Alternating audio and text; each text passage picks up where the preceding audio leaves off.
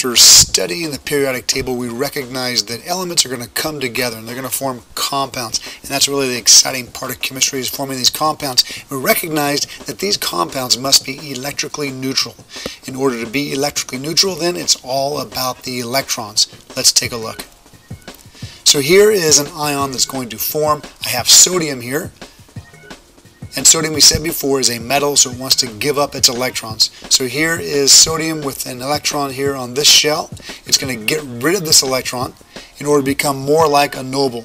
And we said before, nobles are stable because they have a full outer shell. So if sodium gets rid of this one electron, it now has this full outer shell, which we see over on this side, a full outer shell. Now this sodium is more stable, and being more stable means it's a 1 plus or a positive ion. It has one more proton than it does electrons. If we look here at fluorine, it too wants to be like a noble. In order to become like a noble, then it's going to take on one electron. Being like a noble once again means I have this full outer shell. So if it takes on one more electron, it's going to have a negative one charge, a negative ion, or an anion, and once again, this full outer shell.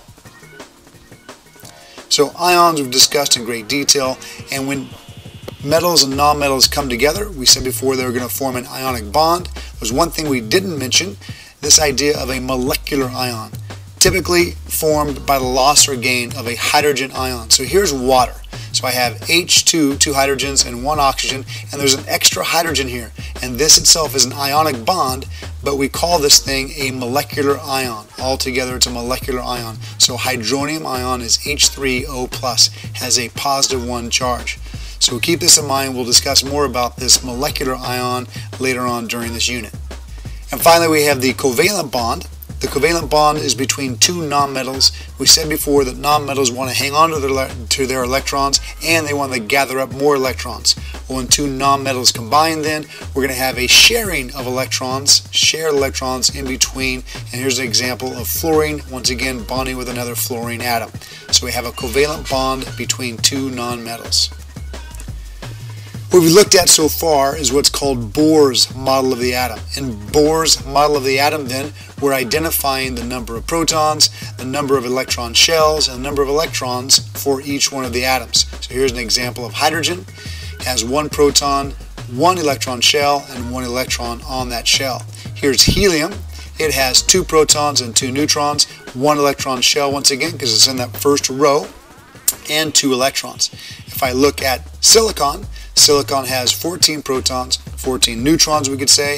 It has one, two, three electron shells. I find two electrons here in the first shell. I'll go ahead and load up the other electrons as well, moving these to the appropriate place on the next shell. And this is going to take a, a long time and it's kind of boring to do, but you get the idea of what I'm doing here, so I'm just going to jump ahead.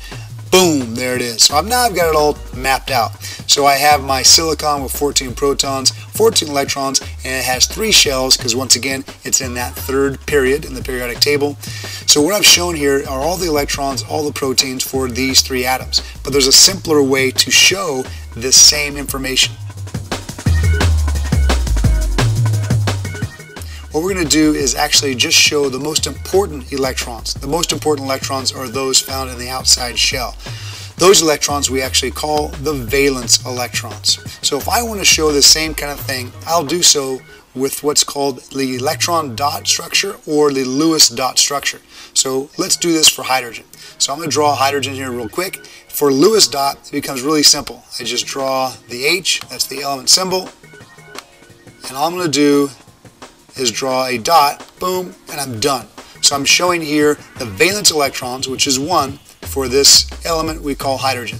If I do helium then, the element symbol once again, and no, the colors don't matter. I could do it in black or red, doesn't matter at all. And I have two valence electrons, so once again I'll just draw two valence electrons, boom, and boom, and I'm done.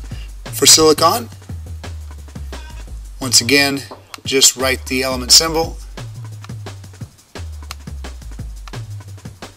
and I have one, two, three, four valence electrons. So I will draw those surrounding my silicon atom. So there it is. So the valence, the Lewis dot structure or electron dot structure is much easier to draw than Bohr's model of the atom. So we're going to stick with this one and it'll be a lot easier for us. Here we go. Let's try chlorine. So chlorine once again, valence electrons, I have seven. One, two, three, four. Notice I draw my electrons separate from each other until they have to pair up. I've got no more space here, so they have to pair up at this point. So five, six, seven. So there's my Lewis dot for chlorine. If I'm to do carbon, same idea. Carbon has four valence electrons, so I start drawing them out, all spread apart. One, two, two, three, and four. So there's my Lewis dot for carbon.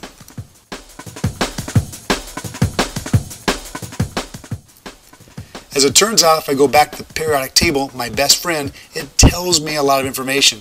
So I look at each element in the first column. As it turns out, each element in the first column has one valence electron, all drawn here. And the Roman numeral above is 1.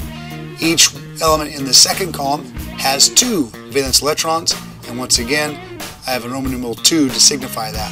For column 13, or Roman numeral 3, each element has three valence electrons. So the Roman numeral actually tells me the number of valence electrons I'll find around that element.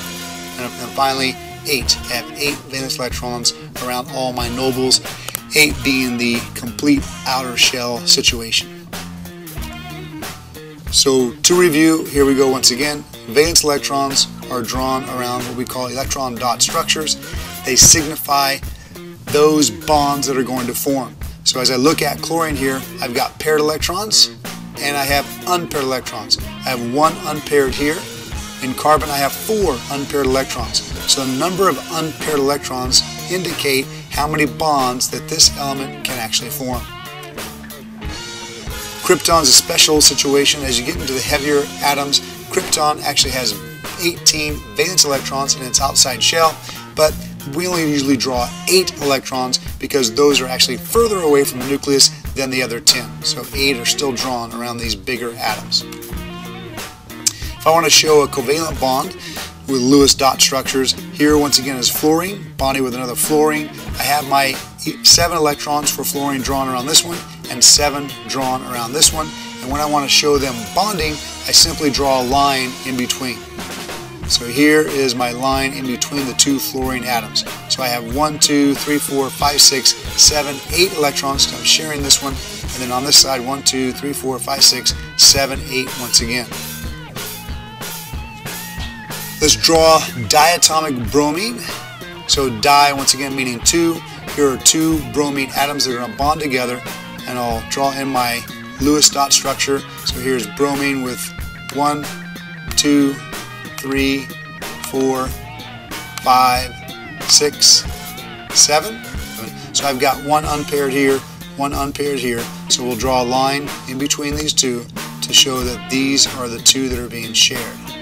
Notice here I have eight electrons, one, two, three, four, five, six, seven, eight around bromine, around this bromine as well, one, two, three, four, five, six, and we're sharing here two more, seven, eight. This is what's known as the octet rule octet meaning 8.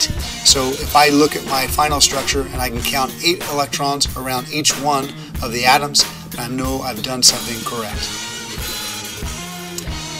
Let's take a look at hydrogen bonding together. So diatomic hydrogen. Hydrogen has just one valence electron. There they are.